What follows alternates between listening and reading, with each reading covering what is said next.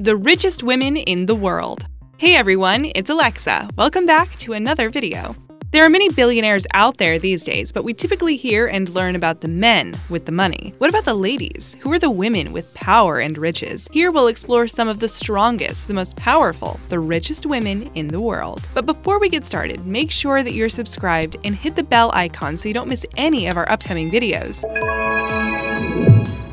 Zhou Kunfei. This woman should stand as an inspiration to not only women, but men as well. She is presently the richest woman in China, and even more impressively, the wealthiest self made woman on earth. She founded a company called Lens Technology, which is one of the biggest manufacturers of touchscreens in the world. Shenzhen ChiNext Market listed her company publicly in 2015, and that helped her boost her net worth immensely. Initially, Zhu had wanted to become a fashion designer, and producing touchscreens was not not something she had envisioned herself doing. She was born in 1970 and worked in factories before finding success, but it was in one of those factories that she met her first husband. He was the factory's boss, and they ended up having a daughter together. She has a son with her second husband. Oh, and she's worth $10.2 billion.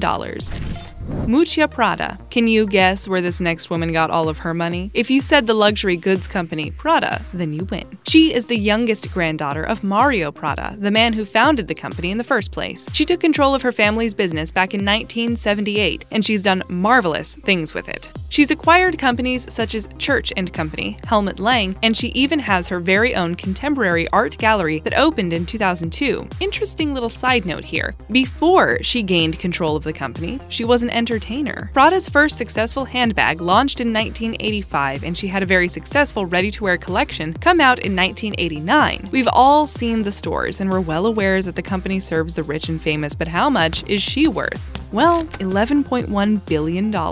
That's how much. Massimiliana Landini Aleotti. This next woman on this list is a businesswoman and an Italian heiress. She co owns a company called Menarini, which is a pharmaceutical company. Her business partners are none other than her own children, daughter Lucia and son Alberto Giovanni. Her participation in the company has led to her becoming one of the most wealthy women in the world, and she's worth approximately $11.3 billion. Blair Parry Blair Parry-Okeden is the wealthiest person overall in Australia by net worth. She's an American billionaire heiress, though, and only resides in Scone, New South Wales. She was born in 1950 in Honolulu, Hawaii, and attended a school that was established by Barbara Cox Anthony, her mother. Her grandfather was James M. Cox, the founder of the privately held media company Cox Enterprises. Parry-Okeden has nothing to do with the company, though, and she just inherited 25% of it after the passing of her mother. She has two children and is a divorcee with an incredible net worth. Miss Blair Parry-Okeden is worth $12.2 billion. Anne Cox Chambers. This young lady is one of the oldest billionaires in the world. She was born on December 1st, 1919, in Dayton, Ohio, and is a media proprietor for Cox Enterprises. She is the daughter of James M. Cox, the founder of Cox Enterprises, as we mentioned earlier, the company which has its hand in television, radio, business, and newspaper. Following her father's passing, Anne Cox Chambers assumed control of her late father's business interests. She married Louis G. Johnson, whom she later divorced. Then she married Robert W. Chambers, with whom she shares a last name. She now lives in Atlanta, Georgia, and has three children. Charlene de Carvalho Heineken. This young lady was born on June the 30th, 1954, in Amsterdam, Netherlands. Charlene Heineken is a Dutch English businesswoman and heiress of none other than, you guessed it, Heineken International. The company is the second largest brewery in the world. Her dad, Freddie Heineken, was an industrialist who owned the company bought by his grandfather in 1864. Her mom, Lucille Cummins, was an American from Kentucky whose family had a bourbon whiskey distillery. She holds a law degree from Leiden University and is married to the director of Citigroup, Michael De Carvalho. He is also on the supervisory board for Heineken, and the couple has five children together. When her father passed in 2002, Charlene Heineken inherited $3 billion, making her the richest person who holds Dutch citizenship in the world. Iris Fontbona. Born in Santiago, Chile in 1942 or 1943, the billionaire woman was once married to Andronico Luksic Abaroa. When he passed from cancer in 2005, she inherited quite the sum of money, as well as her husband's business, Antofagasta plc. This helped her to become the fifth wealthiest person in all of Latin America, as well as the wealthiest person in Chile. She and her family have control over Antofagasta plc, a mining operation that is Santiago based, among many other things. She has not only grown the family business since taking over for her husband following his passing, but she has increased its profitability too, and she, herself, is worth $16.5 billion. Gina Our next billionaire woman was born on February 9, 1954, in Perth, Western Australia. She serves as the chairman of Hancock Prospecting, which was founded by her father, Lang Hancock, and is a mineral extraction and exploitation company under private ownership. Gina was the only child of Lang, so when he passed, she inherited a large stake in his company, and that has led to her becoming one of the wealthier people in Australia. She's made investments in 10 network holdings and Fairfax Media, and was once listed as the wealthiest woman on Earth. Her ranking has dropped in the last few years, though, due to a slowdown in the mining industry of Australia.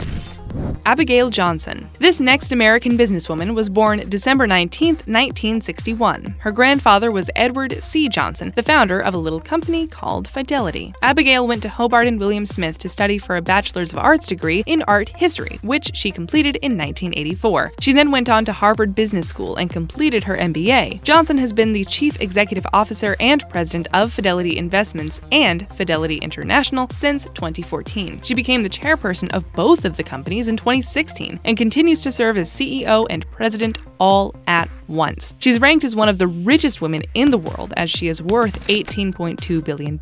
She's also seen as one of the most powerful women in the world. Seems like she'd make a pretty good role model to little girls everywhere.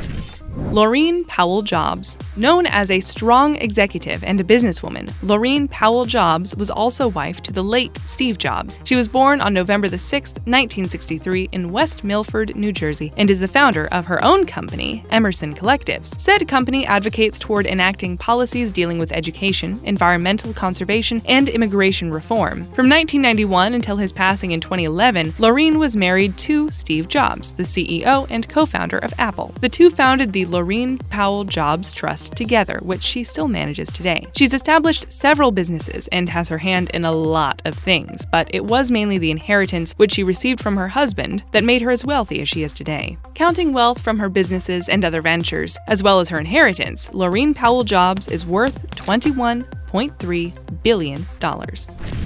Huiyan Yang, not only is this young woman the richest in all of Asia, but she's also the youngest person ever to become a billionaire in China. She was born in 1981 in Shunde, China, and is a property developer and the majority shareholder of a company called Country Garden. Country Garden was founded by Yang's father in 1997. Just before the company's 2007 IPO, her father gave her 70% of its shares, and she is now the chairman of the governance committee of the board of Country Garden Holdings. Before being thrown into her whirlwind life of work, she attended Ohio State University and married Chen Chong in 2006. She's now just 37 years old and worth $22.3 billion. Susanne Klatten. This German heiress was born on April 28, 1962, in Bad Hamburg to Johanna and Herbert Quandt. She inherited a 50% stake in a chemical and pharmaceuticals company called Altana when her father passed. She then inherited her mother's wealth when she passed as well. Not only that, but she has pretty significant holdings in the German car manufacturing company BMW. All of these things have led her to becoming the richest woman in Germany, and she doesn't like it at all. She even used to use a surname to avoid recognition because she doesn't like being recognized as a billionaire. Susanne Klatten comes in with a net worth of $24.4 billion. Jacqueline Mars. Jacqueline Mars is an heiress and a businesswoman that was born on October 10, 1939. Any guesses as to the family business? Her grandfather was Frank C. Mars, the founder of Mars Incorporated, the candy company, of course. She was the main heiress to the shares of the super large candy corporation, and this made her extremely wealthy after her grandfather and father passed. She was smart and made some investments with her money that helped her net worth grow, and she's now worth $28.2 billion. Maria Franca Fissolo. The next billionaire here is yet another lucky recipient of an inheritance. She's an Italian billionaire who received her wealth after being married to Michael Ferrero, the man who owned Ferrero SPA, Europe's second largest confectionery company. Just in case you haven't heard of it, Ferrero SPA is also the parent company to Tic Tacs, Kinder Eggs, Ferrero Rocher, Mon Chéri, Kinder Chocolate, and Nutella. Her husband passed on February the 14th, 2015, and as a Valentine's Day gift, incidentally, she inherited his wealth and company. This quickly made her the second richest woman on earth and the richest woman in Italy and all of Europe.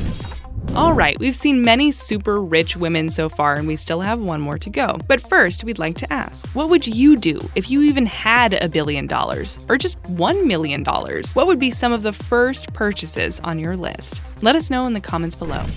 1. Alice Walton.